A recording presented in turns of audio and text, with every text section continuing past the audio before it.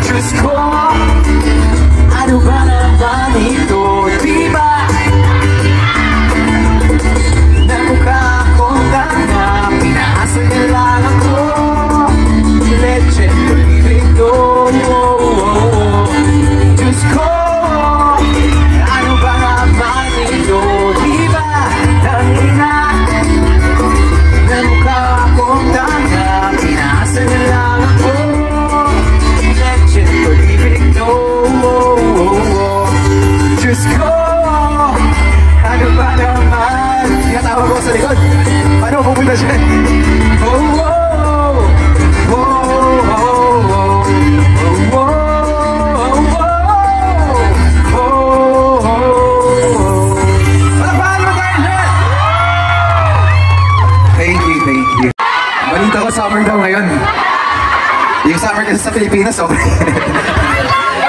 Ayan, napakaganda naman ng mga tao dito ngayon. Napakarami. Balita ko, ang expected lang pumunta, sampu. Pero libo-libo ang pumunta ngayon. Maraming maraming salamat. Uh, isang malaking karangalan ang maka-perform, makapagbigay saya sa inyong lahat ngayong araw na ito. I love you, Paolo! Love song mula. Gusto niyo ba ng love song? Oh, na English naman, English na love song para... Okay ba sa inyo? Okay, English tayo na love song para may iba. Dito muna ako sa taas. Ay, can I have mic stand please? Music please. Tapos sigurado ako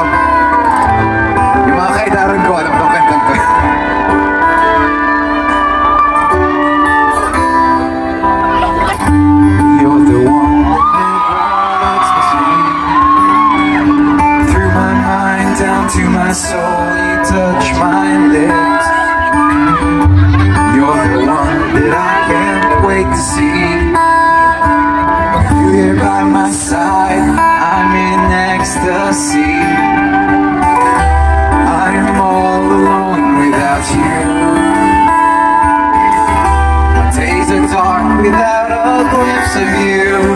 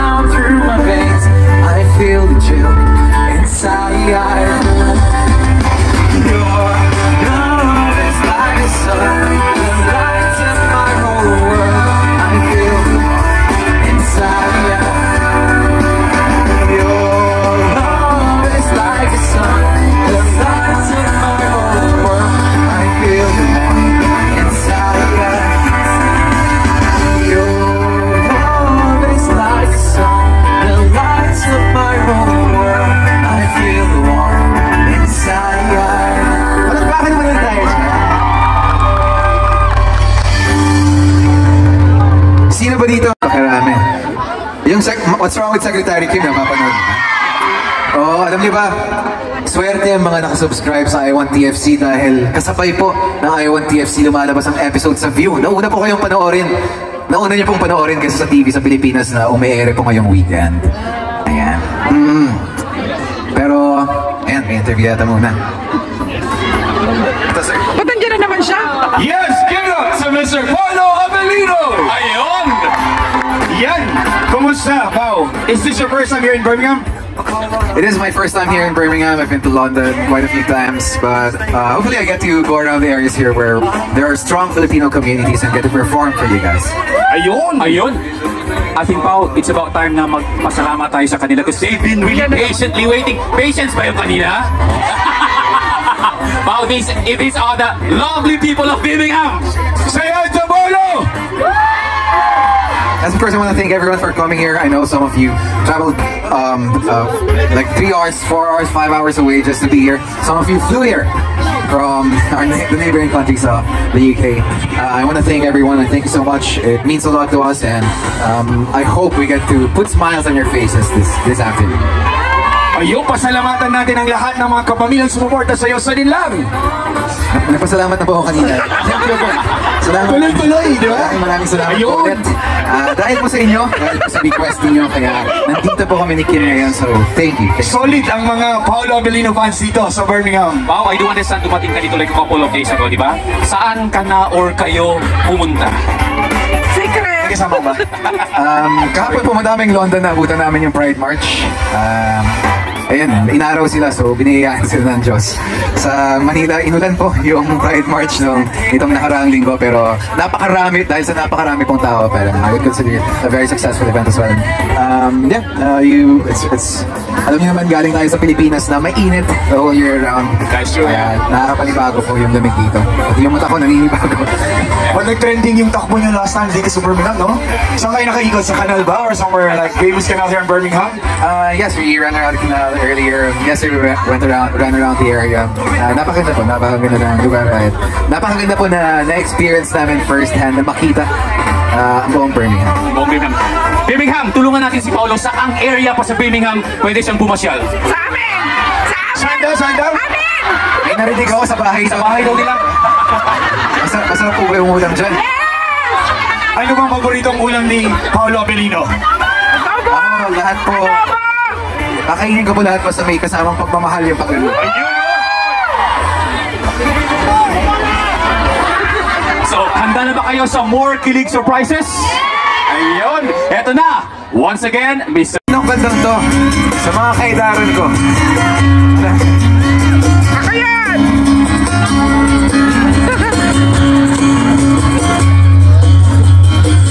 Nagkupo siya sa isang madilim na sulok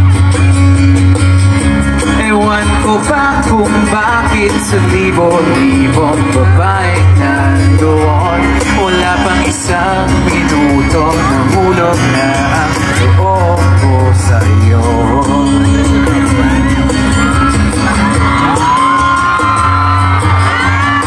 Gusto ko sanang marinig ang tinig mo. Umasa Thank you.